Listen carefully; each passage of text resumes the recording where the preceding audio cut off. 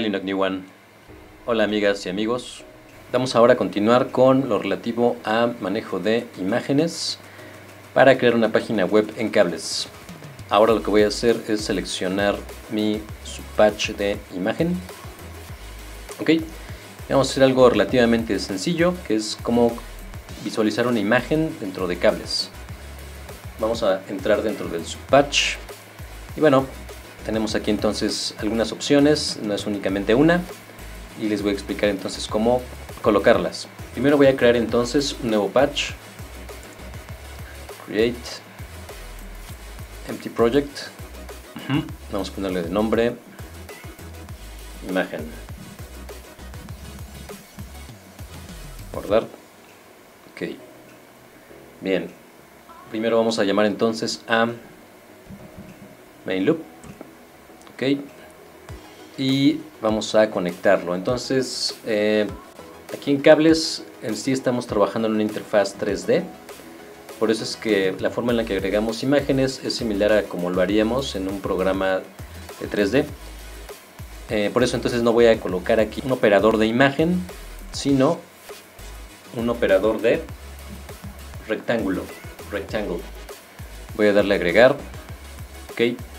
Y tenemos eso, tenemos un rectángulo, en este caso un cuadrado, que tiene un largo de 1 por un alto de 1. Bien, lo que quiero entonces es colocar la imagen, pero evidentemente aquí lo que haría es a, este, a esta malla, a, este, a esta figura, le voy a colocar una textura. Así es como funciona en cables. Entonces, para colocar una textura a un elemento, tenemos que entonces abrir otro operador. En este caso se llama Basic Material. Vamos a mandarlo llamar, voy a colocarlo entre estos dos. Ok. Basic Material. Es un material básico que básicamente es color. Eh, y por supuesto una textura. Entonces si ustedes quieren cambiar el color, en la parte derecha me aparece la opción de color. Y ustedes pueden seleccionar el que ustedes gusten. Pero bueno, en este caso no quiero un color, lo que yo quiero es una textura. Voy a ocupar la que tengo en el ejemplo del gato.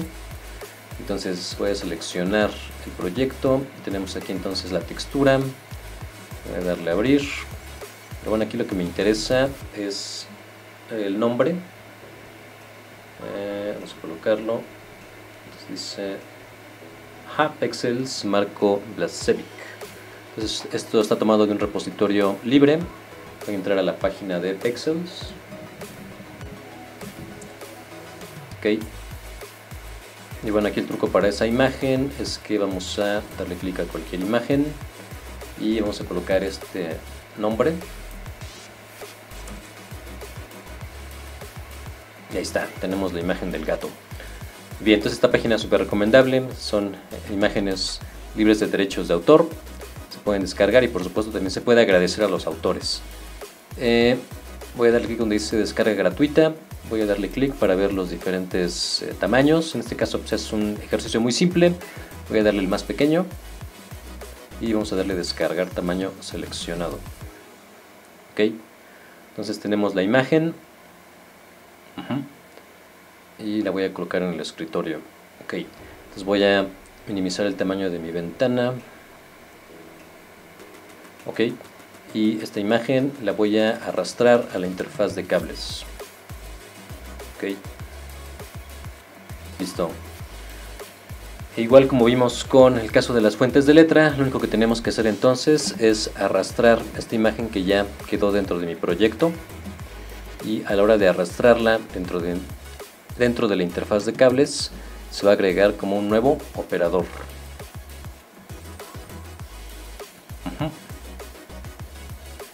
y pues tan fácil como se escucha conectamos entonces la textura con la textura de Basic Material. Como pueden ver ahora tenemos una salida de color morado que se llama objeto. Objeto pueden ser datos en este caso es una textura puede ser audio en este caso es textura. Voy a, dar, voy a soltar. Listo tenemos nuestra imagen eh, nuevamente como les había comentado puede que se vea borrosa por lo mismo de que estamos en modo de volumen, entonces no hay problema. En main loop vamos a ponerle esta opción de high res displays para que se vea mejor. Y por supuesto, el otro problema es que pues, el tamaño está eh, reducido. Entonces, dos soluciones. Una sería, por ejemplo, eh, el tamaño del rectángulo. Podríamos hacerlo un poquito más grande, pero evidentemente ahí tenemos que trabajar con la resolución eh, de aspecto de la imagen original. Si vemos la imagen original, puedo darle clic aquí a mi textura y voy a darle clic en la primera opción que dice File. En este botón para ver la imagen original, pues podemos ver cómo tiene un tamaño muy concreto, ¿no? Hay trucos para hacerlo. Yo les voy a mostrar aquí, digo, podríamos hacerlo de forma manual, ver cuánto es de largo y alto y eso aplicárselo al tamaño del rectángulo. Pero bueno, aquí vamos a hacerlo un poquito más automático. Es un pequeño truco. Lo que vamos a hacer es mandar llamar a un op que se llama info.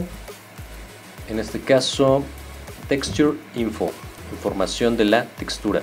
Voy a darle a agregar. Y como pueden ver, yo conectaría de igual forma la textura con texture info y texture info me está dando la información pues de la imagen cuál dónde está su largo su alto su radio de aspecto por ejemplo filtros etcétera no entonces yo quiero ocupar esta información para eh, ajustar el tamaño de mi imagen. Entonces voy a usar el largo y el alto. Voy a usar primero el largo. Evidentemente si yo se lo coloco a mi rectángulo pues va a ser gigantesco no vamos a buscar aquí el largo. Ahí está. Sí es muy muy largo, obviamente, ¿no? Porque son 640, imagínense, si aquí mi unidad es 1, 640 es gigantesco. Entonces lo que voy a hacer es eh, una división, una división de esto para que sea más pequeño. Ok, nuevamente voy a apoyarme con este botón para que aparezca entonces un op entre esos dos. Y voy a usar división, ya sea que usen divide o también pueden ocupar el signo y automáticamente me aparece este operador que va entonces a dividir este dato entre el que sigue. Entonces, ¿entre cuánto lo quiero dividir? 200, me parece que queda bien. Y algo muy similar vamos a hacer aquí. Voy a igual tomar este, esta división. Conecto entonces la altura. Y conectamos también con la altura de acá. Y listo. Tenemos nuestra imagen y corresponde con el radio de aspecto. Eh, como les he comentado, es, importante que trabajemos con orden. Entonces lo que está arriba controla lo que está abajo. Entonces si yo quisiera por ejemplo cambiar el tamaño de este gato, por supuesto que lo puedo hacer desde aquí, pero sería mucho más práctico usar un transformador. Ok. Ah, bueno, esto no, lo habían visto.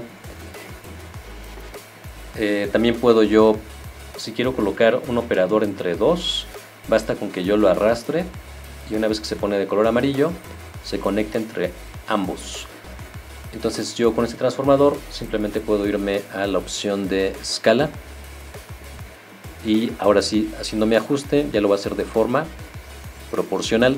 Aquí en cables, pues sí, son algunos pasos extra, pero si se dan cuenta a la hora de que queramos hacer opciones interactivas. Esto es muy muy poderoso. Espero les haya gustado y nos vemos en el siguiente tutorial. Se animan. Hasta luego.